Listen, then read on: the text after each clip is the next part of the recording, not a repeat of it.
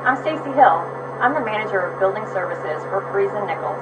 We're a local Fort Worth based engineering and architectural firm. Here in our print shop, we run digital presses, Ricoh C901s.